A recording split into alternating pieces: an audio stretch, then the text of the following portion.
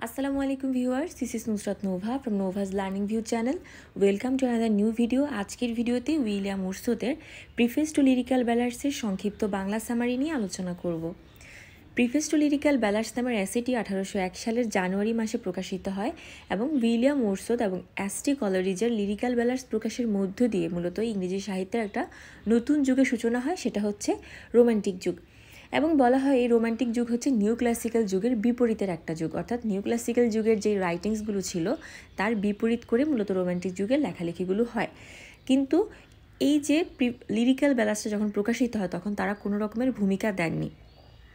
তাই উইলিয়াম ওরসোদ পরে এই প্রিফেস টু লিরিক্যাল ব্যালান্স নামে একটা প্রবন্ধ রচনা করেন এবং এই প্রবন্ধে মূলত তিনি কি করেন লিরিক্যাল ব্যালার্সের যে বিষয়বস্তু বা এখানের এটার যে ধরন সাবজেক্ট ম্যাটার এই সব কিছু নিয়ে মূলত প্রিফেস টু লিরিক্যাল ব্যালার্সতে তিনি বিস্তারিত আলোচনা করেন।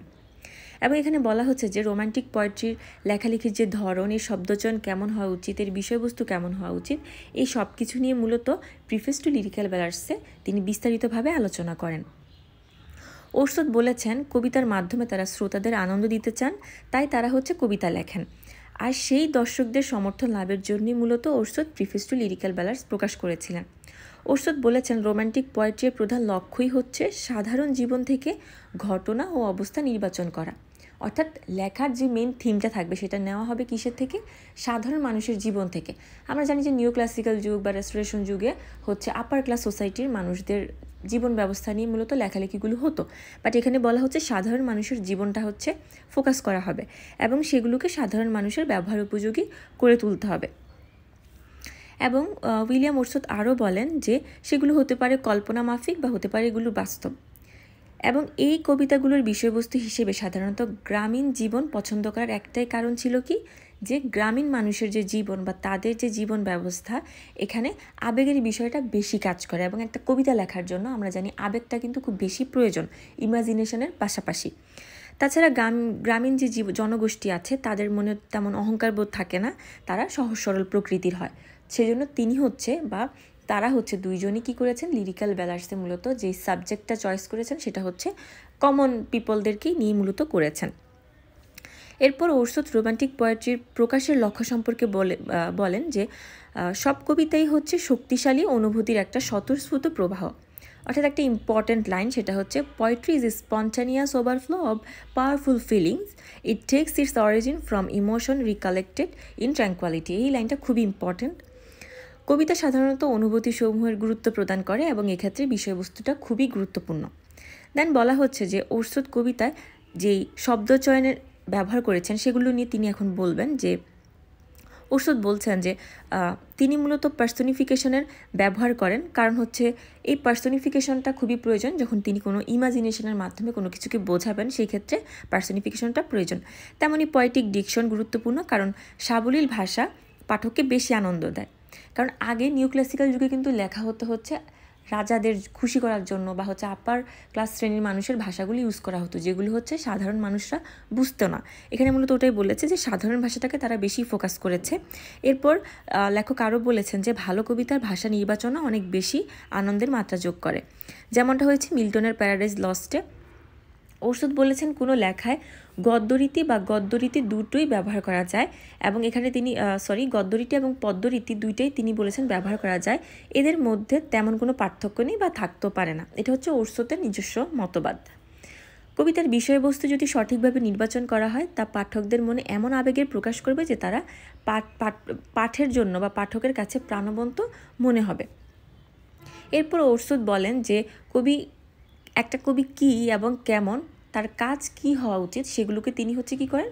বিশ্লেষণ করেন। তিনি বলেন ওরসুদ বলেন যে একজন কবি এমন একজন মানুষ যিনি অধিক সংবেদনশীল, অধিক স্নেহপরায়ণ, অর্থাৎ হচ্ছে সে খুব সফট মাইন্ডেড হতে হবে। তার মধ্যে এমন অনুভূতি থাকবে যার সাহায্যে সে মানুষের প্রকৃতি সম্পর্কে বুঝতে পারবে। অর্থাৎ একটা কবিতা লিখতে হলে বা একটা কবিতা ছাড়াও আমরা যদি পরিবেশের দিক ধরি, সেগুলো লিখতে গেলেও কিন্তু পরিবেশ কেন্দ্রিক আমার মেন্টালিটি থাকতে হবে। এখানে মূলত ওটাই বলেছে কবি। তিনি তার নিজের ইচ্ছা আর আবেগ নিয়ে খুশি থাকবেন, অর্থাৎ এটার মধ্য দিয়ে লিখবেন, তিনি অনুপস্থিত জিনিসেরও উপস্থিত হিসেবে ধরে নিতে হবে এবং হচ্ছে বাস্তব জিনিস দেখেও তিনি আবেগ দ্বারা সেটাকে কল্পনায় আঁকতে পারবেন, অর্থাৎ এটা হচ্ছে একটা কবিদের রাইট বা বৈশিষ্ট্য। তাকে সাধারণ মানুষ থেকে আরও বেশি উন্নত চিন্তাভাবনাশীল হতে হবে। কবি প্রধানত অন্যান্য মানুষের চেয়ে আলাদা কারণ, তিনি হচ্ছে বাহ্যিক কোনো কারণ ছাড়া অধিকত দ্রুত ভাবতে পারেন। অর্থাৎ এখানে বলেছে, একজন কবি নর্মাল মানুষ থেকে কেন আলাদা? কারণ তিনি, আমরা একটা ফুল দেখার পর হচ্ছে আমরা নর্মাল সেন্সে সেটাকে ভাববো ফুল বাট হচ্ছে কবি হচ্ছে এই ফুলটাকে নিয়ে হচ্ছে হয়তোবা কারও জীবন নিয়ে রচনা করে ফেললেন। ব্যাপারটা মূলত এখানে এরকমই। এবং এখানে বলা হচ্ছে যে, এই যে এসব অনুভূতিগুলো অধিক দক্ষতার সাথে কবি মূলত প্রকাশ করতে পারেন।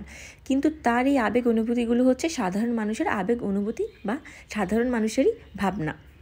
সাধারণ মানুষের এই ভাবনাগুলোই কবিরা একটু অলঙ্কৃত করে অর্থাৎ বিভিন্ন ফিগার অফ স্পিচ ব্যবহার করে তারা বর্ণনা করেন, যা কিনা আমাদের আনন্দ দেয়। এবং এটাই মূলত কবিদের মূল উদ্দেশ্য।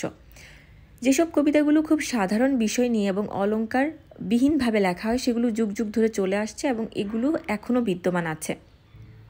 এখানে বলা হচ্ছে, আর এগুলোই পাঠককে আনন্দ দিয়ে যাচ্ছে। এটা থেকে প্রমাণিত হয় যে অলঙ্কারহীন সাদাসিদে কবিতাও আনন্দ দান করতে সক্ষম। কবিতার লক্ষ্যই হচ্ছে আনন্দের সাথে একটা উত্তেজনার উদ্রেক ঘটাবে পাঠকের মধ্যে।